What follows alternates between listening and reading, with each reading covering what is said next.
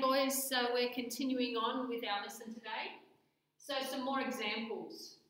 Second example if the cost price is $85 and the selling price is $102, find the profit.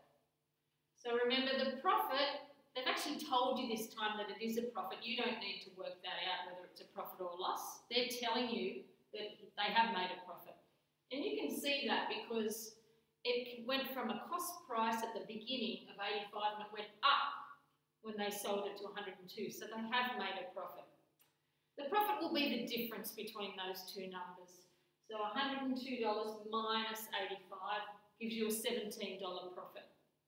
The percentage profit, remember that percentage means times 100. So there's the times 100. The word profit that's the other important word in the question. That goes to the top of the fraction. Nothing left to write on the bottom. It's always the original on the bottom, the original price, which will be the cost price. So on the top we have our profit, which you just worked out, $17. On the bottom we have the original price, or the cost price, $85. Times by 100, put in your calculator and you will get 20.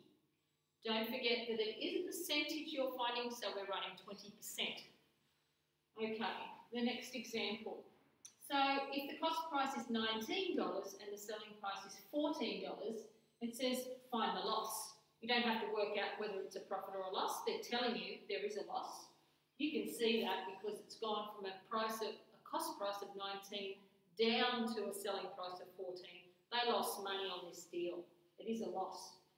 To find how much they lost, you just subtract the numbers. And we've got a $5 loss.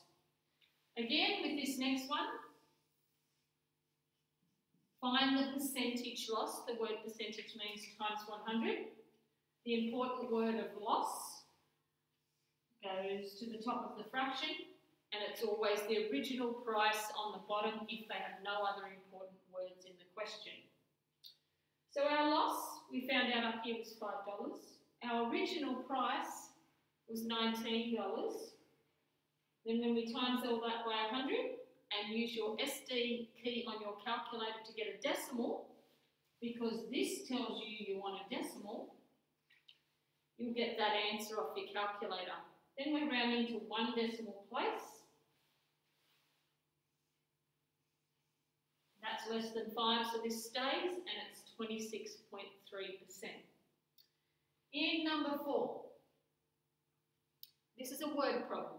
Anthony bought a computer for $519 and he sold it three years later for $220. Calculate his percentage loss correct to one decimal place. So there's a fair bit to do here. They're not leading you through this question in any way. That's what they want, percentage loss. The word percentage means times by 100. So we make sure we've got that in our working. The other important word is loss.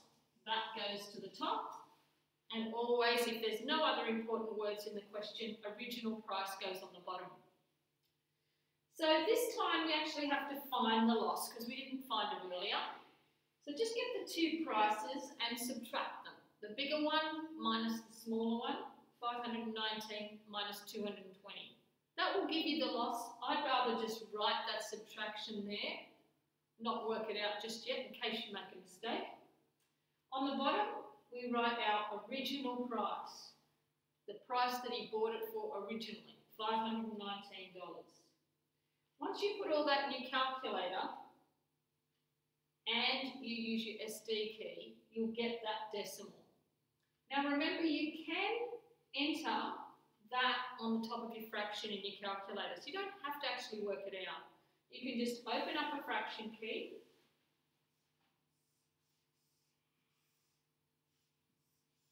and on the bottom you just put in 519 minus 220. Then down arrow and put your 519 in. Then times by 100. Once you get your decimal, it says correct to one decimal place. That's less than five, so we're going to keep that decimal as the six there in that first decimal place. So that's 57.6%. So we're going to come back into the next video and do some more examples.